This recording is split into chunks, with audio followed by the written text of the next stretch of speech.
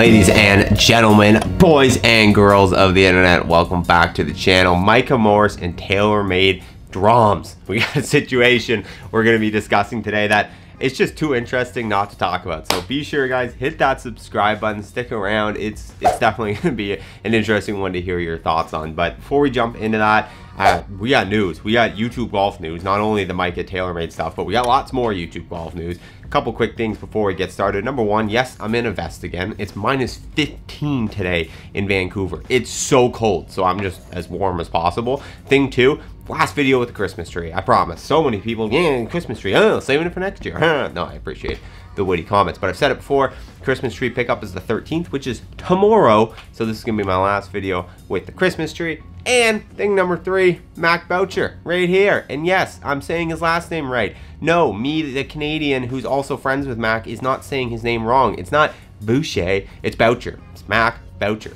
His video is playing behind me. He uploaded this thing last night. Uh, you know, he's still starting his YouTube channel, so views come in slowly, but the dude's got like almost 8,000 views in the first like 15 hours, which for a new YouTube channel is really solid. The guy's breaking into YouTube. I'm a big fan of him. Obviously, I did that day in the life with him, but his content's just really entertaining. So I feel like having his video playing over my shoulder and letting him hit 90 yard slingers for you guys will be entertaining, but be sure to check it out. I'll link it down below. He's uploading and really trying to push his YouTube stuff, so be sure to support him. Anyways, let's dive into the news. First piece of news, we touched on this in the last video we uploaded right after the foreplay tiger video. Listen, it's been, what, two days now, not even. Videos got over a million views.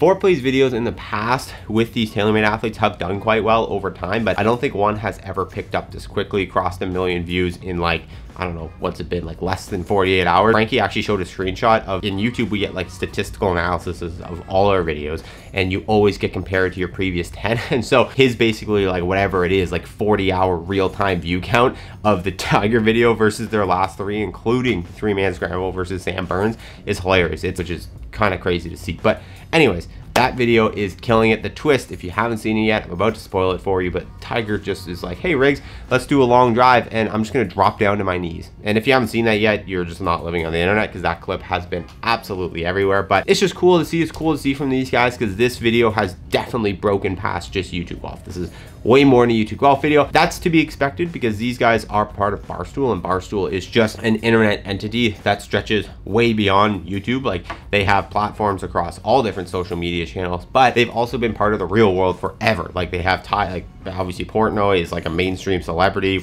pretty much kind of I'd say like a low a high B-list celebrity. He has connections with Tom Brady and Bill Belichick and all these like just mainstream people. He's done some crazy stuff. Like they definitely have the ability to go more mainstream, get on news networks, and that's what this video has done. But ultimately, that is good for YouTube Golf because it's a YouTube video from Foreplay who is part of Barstool, but who has recently been really trying to dive in more to YouTube. The Foreplay channel now is exclusively videos made for YouTube. It's not podcasts, it's not podcast clips, it's not just whatever they need to throw out for advertisers. It's actually like good quality YouTube videos. So this is going to be funneling people into YouTube Golf and the timing for all the other creators is great. Like the fact that this video is going so viral, well, Grant and Micah are uploading videos with Nelly Korda, with Rickie Fowler. Those are already up today. Maybe even by the time I'm putting this video live, the video with Grant and Colin will be live. If not, it's coming live later today. I don't know what that challenge is, but that's coming out. And then obviously we have the Rory and Micah Morris video, which I actually think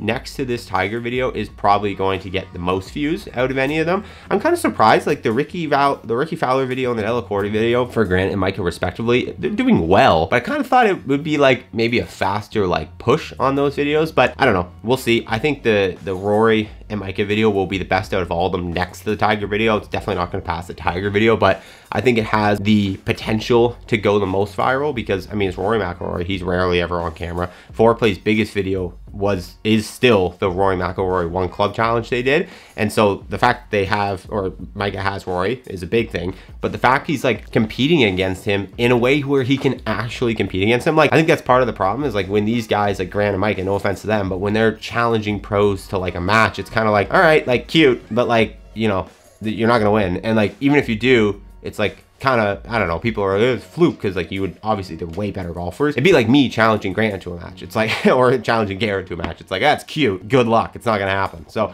anyways, I think maybe that diminishes the interest a, a, touch, just a little bit. I think it could also increase the interest for some people, but I'm getting off the topic here. The topic is that Micah can actually fully compete with Rory when it comes to hitting the ball a long distance. The dude has Rory McIlroy numbers on the driver. And so I think that fascination mixed with the fact that Rory is just, he pulls views, that video is going to go super viral. I do not think anything will touch this Tiger video with foreplay. I think also just the backstory with everything with foreplay and this video is huge. And I think that's just going to drive forward people. So interesting to see. Kind of on a, side note, I don't really know what Callaway's doing. Like, why, why, why doesn't, I mean, they must not have a similar ish media day setup. But I mean, Bob Does Sports put out that video last or two weeks ago or whatever with Schauffele and Rahm in it, and, and they did that the year before as well. And Good Good did have something last year when they announced the, the Callaway deal, but I don't. It was like one video, and they were just kind of in for like one hole. Like I don't really know why Callaway isn't capitalizing on the ability to have these guys, which who are bigger creators. Like you have Good Good and Bob Does Sports, they are the two biggest branded entities in the space right now, and they're getting less access from what it looks like on the outside than, you know, Micah, Foreplay, and Grant. And that just seems kind of backwards to me. Like, I know TaylorMade has historically been like a, a pretty much the king of marketing when it comes to golf stuff, and they're very good at it, and they're sly, and they're, they're up to date and everything. And maybe Callaway's a little more old school, I don't know, but it feels like they're really wasting an opportunity here by not having like Jon Rahm on, you know, good good for like a Ryder Cup or a, a, Good Good Major or whatever. Like, you know, like some maybe add in a handicap. Like, I know I just finished talking about the fact that pro playing non-pros is comical, but you could add in a handicap or whatever. My point is, is that I'm very curious why they don't do more and allow their people to do more. So I don't know. Comment your thoughts on that one down below. But let's get back to TaylorMade and let's talk about what you clicked on this video for.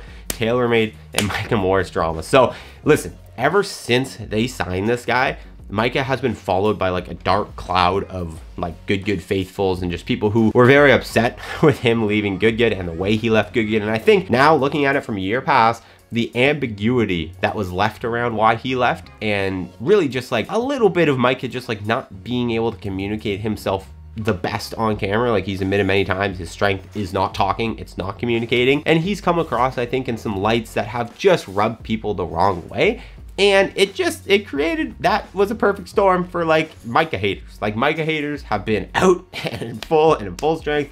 Grant, even in my interview with him, talked about the fact that like he's always shocked that like anytime TaylorMade or anyone posts anything Micah, the amount of hate that it gets. Like Micah is in real life, IRL. Grant said it, I've said it, I've talked to other people he's just a really cool, smooth, down to earth, easygoing, nice guy. Like he's not ruffling feathers. He's not doing anything crazy. Like he's just a very, he's not going out and bragging and buying a bunch of crazy cars and a bunch of other stuff. He's not some, you know, rich YouTuber. Like he, he might have a lot of money, but he's not living like a rich YouTuber. So the hate that he gets, it's just fun, right? And it's always been funny, but it never, in my opinion, was more apparent. And when TaylorMade would post, when TaylorMade would post Micah and when they would post Grant, you would get the like, why are they posting these like Joes over the pros? You have access to all the best TaylorMade pros. Nobody cares about these guys, whatever. Which is like so wrong and they're such idiots. But that's haters on the internet in general. They're always wrong. Anyways, they're posting them because they obviously actually have the most attention and the most amount of people interested in them. That's why they're signed with them. But you would see not just those comments with Micah, but then like ones attacking him for like the, the pro stuff. Again, I think a little bit of miscommunication from Micah about like it really did sound like when he left Good Good that he was trying to play pro golf at the highest level. He believed he could walk onto the PGA Tour essentially. And that's just not the case. We've cleared that up with him recently. But because that kind of sounded like that and people had that assumption of him when he went and played in the CPGA Tour event and finished absolute dead last, that was just fuel to the fire for the haters and that continued on. So anyways, you have seen it over the last 9 to 12 months. Just every time he's posted on TaylorMade's Instagram, just a slew of hate in the comments. But a very interesting development in the Micah Morris TaylorMade drama was the most recent post of him just absolutely mashing the QI10 driver, just throwing it 191 mile per hour cruising ball speed, like launching the thing 335 carry distance, like pretty much like the best person TaylorMade has to hit their driver is hitting it. And the comments on Instagram were actually mostly positive with one that really stood out to me. And that was this top comment just basically being like, all right, here come all the pointless Micah Morris haters. And this really, this really just tripped something in my brain of like, you know how in the last couple years, well, I guess if you go back even like four to five years, we had like the come up of what feels like of like wokeness and like woke people and like shaming you and cancel culture and all that kind of stuff. And in the last like year, two years, I don't know about you guys, but dead. Like nobody cares. Like if you're one of those people who's just trying to like virtue signal and just like, man, I'm such a good person. Look at me do this. Look at me do this. And no, you're canceled because you said something 20 years ago. It's like people are canceling those people. Like that's over. Like people are like, you're stupid. Shut up. Like no, like we're not listening to you. Like you don't get to feel special because you have this like opinion on the internet that's just like stupid. No, like that stuff has been squashed. And I feel like almost the same way now, internet trolls, comment trolls, especially on YouTube, are starting to get squashed. Like I notice it in my videos sometimes, every once in a while, and it's quite rare. You guys are amazing and I love you. But there'll be a negative comment that pops up. And you guys, Nate's anti-troll army is just there. Like the next four comments are always like, you're an idiot. No, here's why he's doing this. No, you don't understand. Go away. Why are you even watching this video if all you're gonna do is hate? Like it's, you guys just got my back and I love it. And I feel like that that kind of I don't know anti-hate and like it at the end of the day, those you guys who aren't YouTubers, it's like you start to realize over time, at least if you have a healthy mental relationship with this, which don't get me wrong, some people get real messed up in the head with the hate stuff because it, it can mess with you. But I've been doing this a long time. I'm, you know, pushing 30 here. Like I'm very, I'm not pushing 30, I'm 28. I got lots of time, but my brain is fully developed and I've never really cared too much what other people think thankfully. And you just realize really quickly that these are just the most miserable people ever. Like, when was the last time you, watching this video right now, commented something negative? Like, you, you just have better things to do in your life. Like you're gonna leave this video and you're gonna go and you're gonna have a great dinner with your girlfriend or your wife and you're gonna play with your kid or you're gonna go play some golf or you're gonna go to the gym and you're gonna work out and you're just you're gonna actually live a real life. Whereas the people who comment negative stuff, like they have nothing after this. Like th this is the pinnacle of their day is watching this, getting mad, and then commenting something negative. Like that's all they have going on in their life. And so they're just losers, like they always are. Every single time. They're losers or they're unhappy people.